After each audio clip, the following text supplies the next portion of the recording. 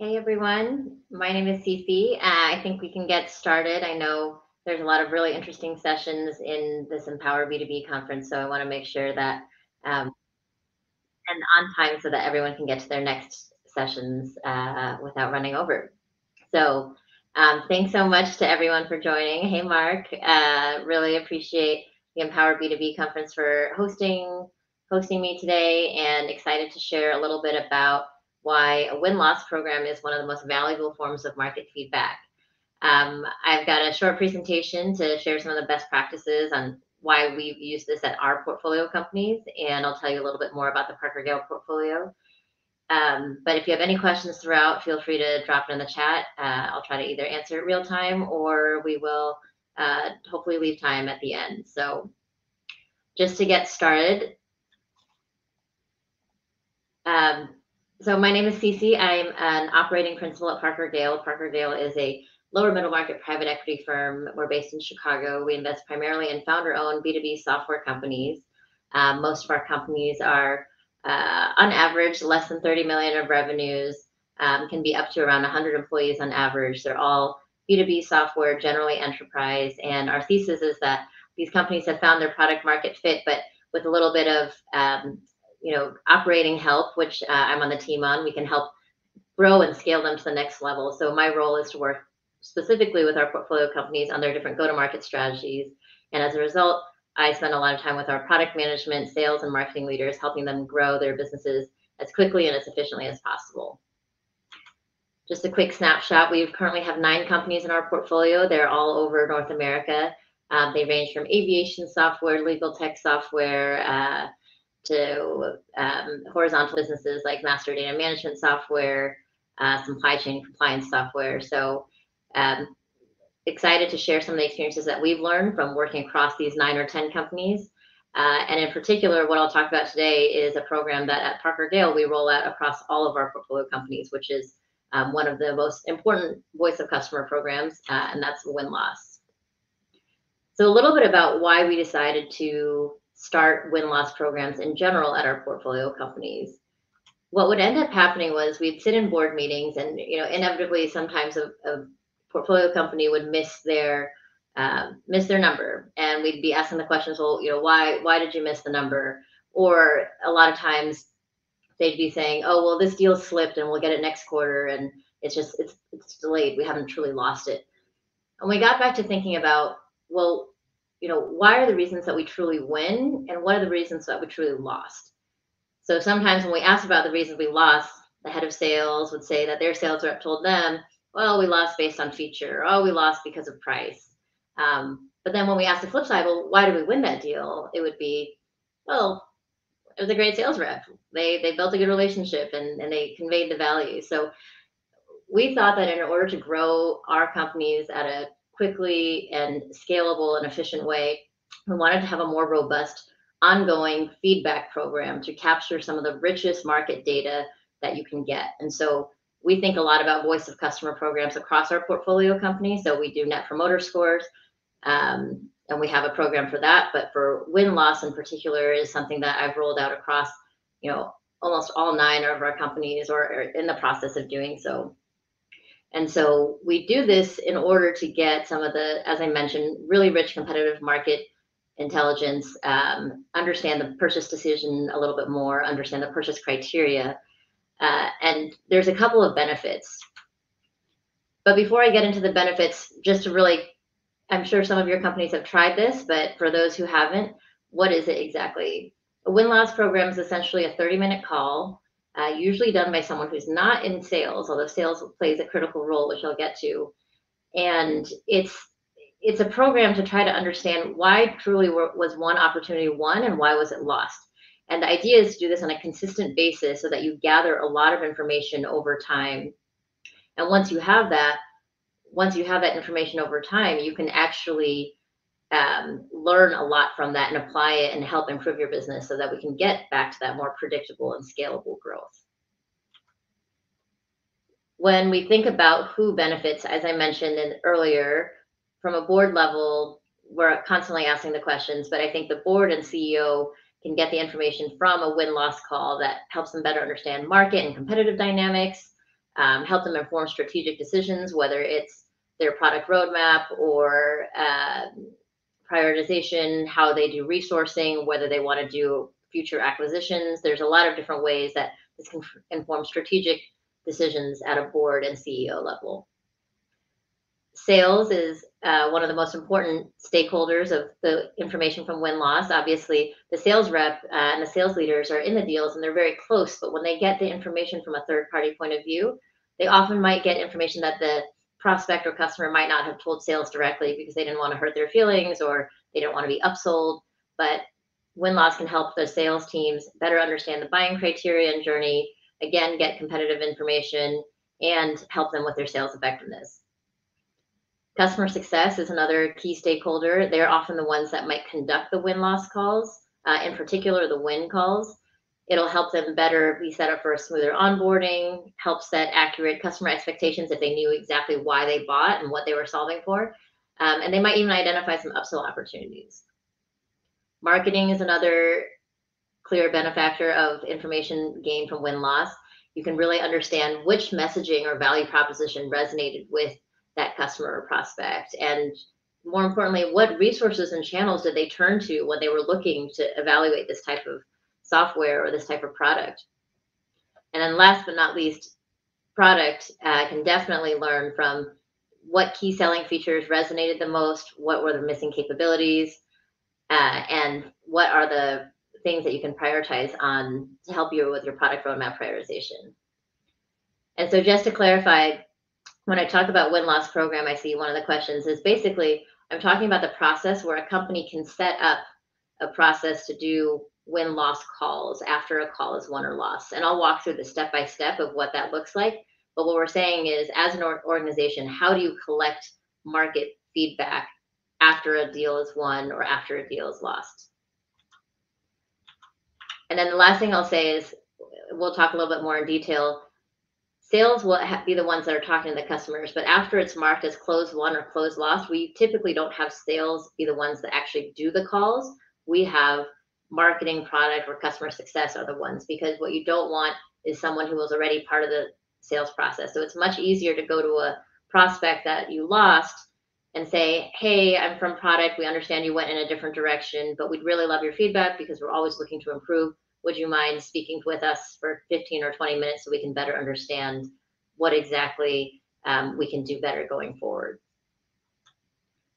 So, in terms of implementing it, a couple of basic steps. What I loved about trying, at least trying out win loss, is this is something that any company can start doing tomorrow. You don't need a software, you don't need a whole program. Obviously, if you want to do it on a consistent basis, you have to be able to really try to systematize this and and make things easier. But this is something that from a crawl, walk, run, any company can start crawling tomorrow. And that starts with having a really good conversation with your sales team and your sales leaders.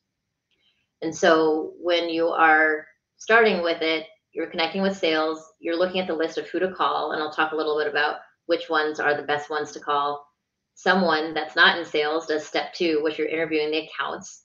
Um, again, this can be someone in marketing, someone in product, someone in customer su- success. You're looking at the results. And then, most importantly, you're disseminating those findings back to the organization because the worst thing that could happen is if one function, let's say product, has all this win loss data, and if they never share it back to the organization, how can the rest of the organization benefit? And then over the medium to long term, you might take changes or actions to, to fix things within your sales process, within your product that from this feedback that you get.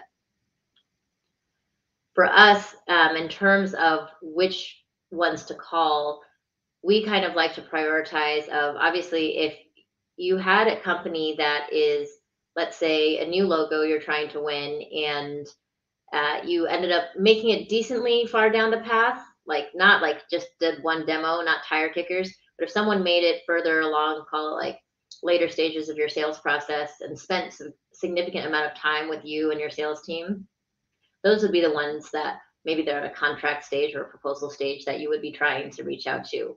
New logo wins are obviously also a really great call to make and those in my opinion should be uh, almost not optional. Every new customer that you onboard should, should be the first step of your onboarding process. But you can also do win loss calls on customers um, that have churned or renewed, especially if they evaluate the market. So there's a lot of a lot of audiences that you can call within this program. We have within our Parker Gale portfolio companies, they might typically ask 15 to 20 questions in a 30 minute piece, but I'm going to share with you five of the questions that I think have resonated the most across our portfolio companies, um, regardless of what end industry they are, they are in. So the first one that we like to ask is, you know, what pain point were you trying to solve that led you to search for a new solution in the first place? We know that from some of our sales trainings that, you know, people buy because they're trying to solve a pain, they're scared of something, it's out of fear, or it might bring them pleasure. But the number one reason that they'll buy and the fastest reason they'll buy is to solve that pain point.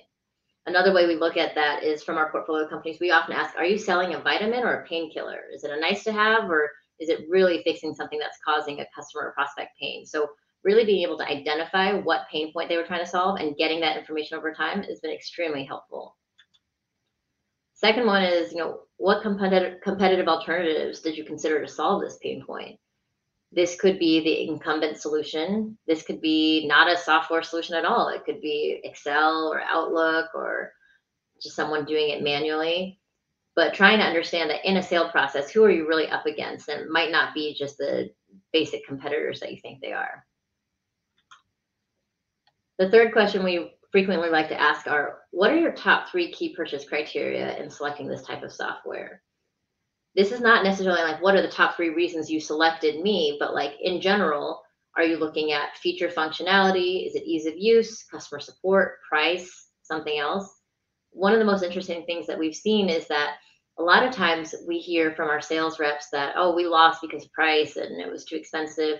Um, but when you end up asking this one particular question over and over again, and you make the prospect or customer answer in, in this order, price rarely ends up being the number one purchase criteria. They're looking for a product that will actually solve their product, their their pain points, and they're willing to pay, you know, a good value for it, but they're not necessarily always looking for the lowest price solution. Another question we frequently like to ask is, you know, what did you see as the main value proposition of our company's solution? What every company has your marketing collateral, all the materials, your sales enablement, your battle cards, um, and you have the idea of what your own value proposition is. But if you actually were to ask your customers or prospect, like, what do you think is the base value proposition? You might be surprised at what they actually bought your solution for or what they were thinking was most important. And then finally, this is a great chance to get some feedback on the sales process. I want to be clear that we're not trying to dig up dirt on the sales team at all. That's that's not the point. But we're trying to understand where could we have done better? Where could we have? Uh, where did we do well that we should keep doing? So you could ask questions like on a one to scale of one to five, with five being very effective. How effective was our sales team at conveying our value proposition? And if they give you a three, then you can say like, okay, well, what could they have done to do better? And this feedback will hopefully be most relevant when you go back to your sales team and say, you know, did you know that this really resonated the most with the prospects and we should emphasize that more. There's obviously a lot more questions you can ask in a win-loss interview from a marketing perspective. For example, you can ask, you know, which channels did you turn to or what resources did you turn to to try to make your decision or how important was it talking to a reference customer, for example. Um, but these are all different examples of questions that can be asked, but for us, um, looking across all of our portfolio companies, these are the, the top five that have been most helpful. So at Parker Gale, we've rolled out win-loss programs over the past couple of years to um, the majority of our portfolio companies or in the process of starting it with some of our new ones. And there's been a couple lessons learned after trying to roll out this program. I think the first one is, as I mentioned, with win-loss, it's crawl, walk, run. You can start it tomorrow. You can start today if you talk find the the most recent sales call that was uh, the most recent sale that was won or the most recent one that was lost. You can start this today. But if you want to do this on a consistent basis over time, getting a chance to automate it will help you a lot more. So you can automate a win loss report in your CRM for some of our companies, we get that on a weekly basis, and the head of product gets a ping every Friday saying, here's the calls to make this week. Um, the second part is especially for win calls, as I mentioned before, doing it as part of your customer onboarding process. The idea of doing a win loss call is this should be done within two weeks, right after the deal is closed, marked as closed or lost. And the reason you don't want to do it too long is because this is not meant to gather feedback about your product. You don't want this company to have installed or implemented your solution. This is meant to capture their sentiments right at the heat of their buying decision. And so for a customer, um, if you're doing, if they have already signed on to be a customer, if you can make it as the first step of your customer onboarding process, and then you do your kickoff call where you get all the data and other stakeholders in the room, we find that super valuable. And so win calls, in theory, depending on the volume of calls that you have, could be not optional. You could just make it and build it in. The third piece is, as I mentioned, sales is never the one that conducts the calls, but they're a critical part of this process. So you want to make sure there's a smooth and timely handoff from the sales team. And again, the feedback is that when you go to the sales team, this will be your best way to um, get feedback so that they continue on their future calls. Um, so they're the ones that hand it off, but they're the ones that should be the first to receive the information as well. Another point is just trying to make scheduling easy. Um, we find that the biggest burden of people doing win loss calls, it ends up just being an administrative burden, or they think it's important and they should get to it, but then they don't end up getting to it, and then they haven't gotten as much information as they hoped. And then finally, um, again, depending on your industry, some of our industries are more sensitive than others especially for the loss calls, we know that customers' times and prospect times are valuable. So if they decided to not work with you, um, we've seen some of our portfolio companies offer like a $50 gift card to say, hey, we understand you selected a different solution. We really value your time. We'd still love to get feedback and improve. You know, would you mind speaking to us for 20 minutes? Um, and here's a $50 gift card. And I think the other thing is on the lost calls, sometimes you have to be a little bit persistent. Uh, it might take three or four touches but the thing that actually has increased the lost calls the most for our portfolio companies has been doing it in a timely manner. Once it's closed loss or they've officially said no, they're moving on pretty quickly. So if you can still catch them within that first week, you're more likely to get a response. Um, I know for our portfolio companies, we've seen this roll out at eight or nine different companies. I'm happy to talk through some of these FAQs um, that I've frequently got, but I also want to see if anyone has any questions um, feel free to add them in the chat and I can also answer them now as part of this as well. But coming back to when I think about the fundamentals of win loss, I mentioned before to try to get as many calls as possible, you try to conduct those within two weeks of the deal closing, um, especially so that it's fresh. When you think about who else should join from the company, um, as I mentioned, sales shouldn't be the ones that conduct the calls. And again, the reason is that the salesperson might not be, uh, the, the, the prospect might not answer as truthfully to the sales team because they've already developed a relationship with them. Um, but product or customer success or marketing are frequently the ones that are joining these calls. In some cases, this was pre COVID days when we had people in the office, you would have people in the office um, we'd have a head of product and we would invite the engineering teams to just sit in and listen in on this. Um, and that really brought it to life. So there's a way to listen in on these calls. Um, but again, we really discourage sales from being the ones that conduct the calls because you're trying to get an unbiased view and someone that doesn't know the customer that well during the buying journey. In terms of the uh, how long the call should go for, we start with like 30 minutes you'd be surprised that, and maybe you know, some of these customers actually want to talk to you for a lot longer. So I always build in a buffer afterwards, but um, you know, 30 minutes is is kind of the standard starting point. Another question that I often get is, you know, how do we know which calls to make? Um, how do we prioritize between wins, losses, renewals, and churns?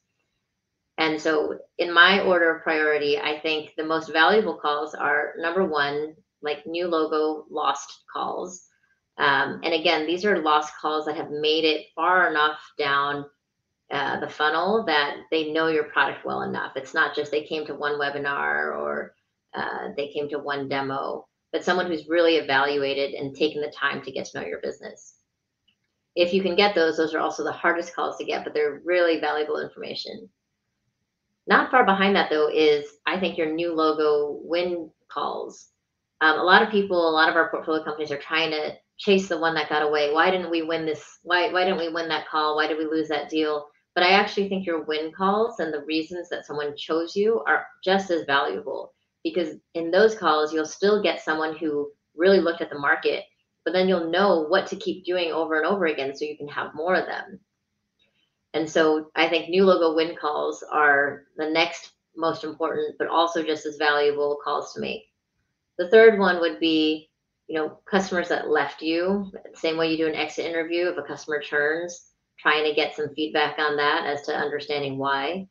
And then the final one would be um, a customer that renewed. So if you, they were in a three-year contract and they renewed, and you had a sense that they um, they might have tested the market, or the, you're, you're in a very dynamic market where a lot of things are changing. It's always a good chance to get the feedback of like, well, why did you decide to renew with us, and and what was important, or what can we keep doing?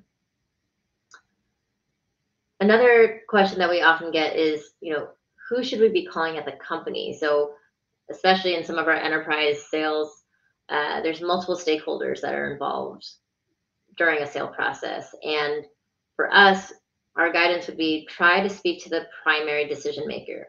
They might not be the end user in this case, but we're really trying to understand again the customer buying process, their purchase criteria, and so they may bring some people to to join that call. But if you can get to the decision maker versus just an end user, or at least whoever is the main champion, we find that those are the most important um, and valuable feedback. And then once they're a customer, you might always be able to get more user feedback on the product itself.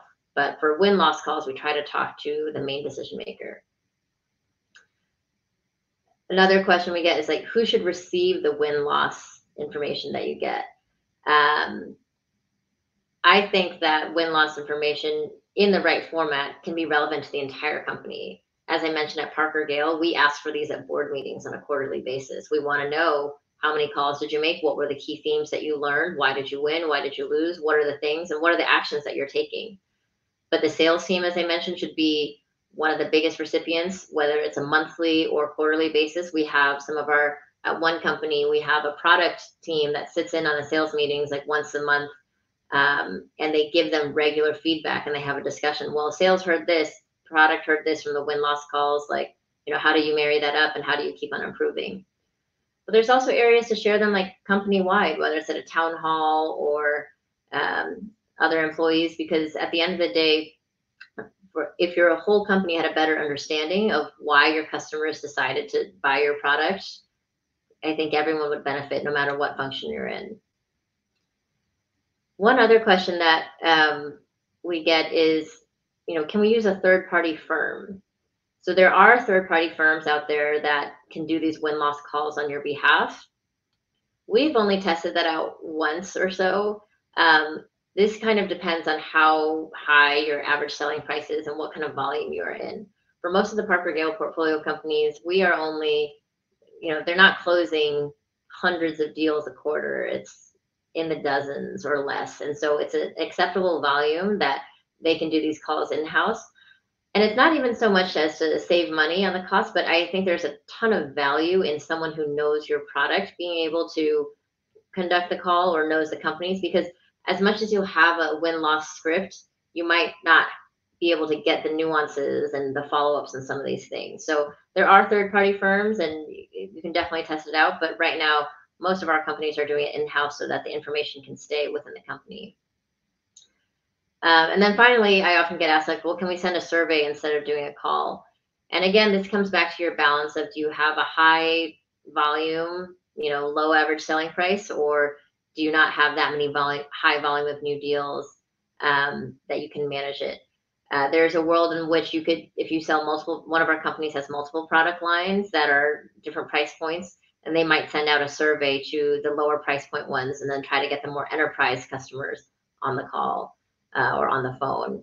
And then, you know, as a last resort, if you're doing a lost call and you followed up with this customer three or four times, or this prospect, excuse me, three or four times, um, you may be able to also try to send them a survey. But I think most people know that there's also a ton of survey fatigue um, that happens. And so we find it more effective and more valuable to get the nuances when you're able to do a phone call. So Um, those were some of the key FAQs that we often get about starting a win loss program. I'm happy to see if anyone has any questions about starting a voice of customer program, whether it's win loss or something else at their portfolio companies, or sorry, at your companies. Um, and I'm trying to look through the chat to see if there's anything else.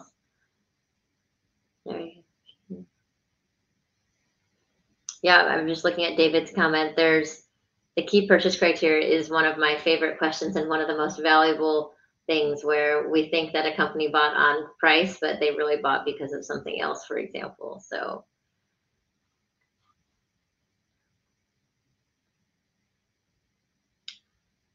Tiffany, I agree. A survey with an incentive, if it's a final touch, um, that might be a chance to get them to, you know, you might have offered them a $50 gift card to talk to you on the phone. Maybe it's a five or ten dollar gift card to fill out a quick survey. But no matter what, I think it's it's worth the effort um, because I know our companies have learned so much from it.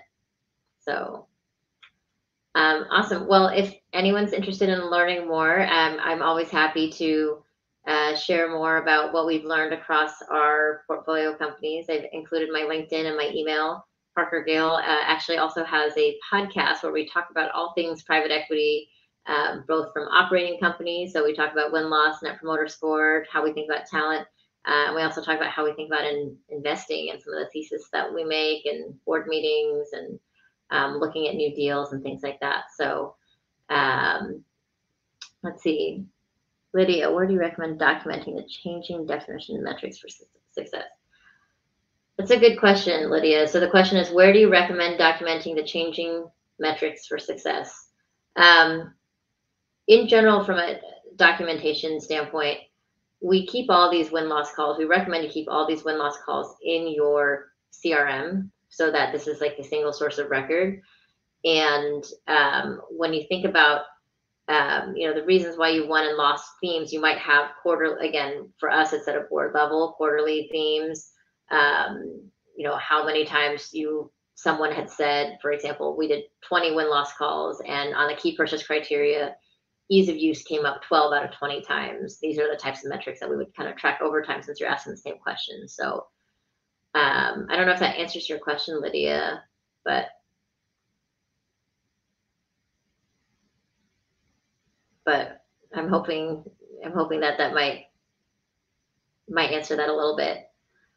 Um, in terms of other documenting, uh, changing definition or metrics for success, aside from documenting a CRM, the common themes, um, I think it's the win loss report really has to make sure that you're showing that consistent themes over time. And so, for example, if you can keep seeing, like, you know, we lose, if you build a rich enough database of information, you can start to see themes of like, we lose to competitor A 80% of the time, especially when they had this kind of purchase criteria. So hopefully this information will help you actually um, better qualify and know where to spend your time on um, versus you know wasting your time on some a deal that you probably shouldn't have been in in the first place. So yeah, customer success could capture this data over time to see themes. Um, as I mentioned, product management is frequently the owner of this program because a lot of the feedback might be product oriented. But again, whether it's customer success or marketing or product that owns it, we really encourage you to share it around with the other functions and especially back to sales. Any other questions from this group?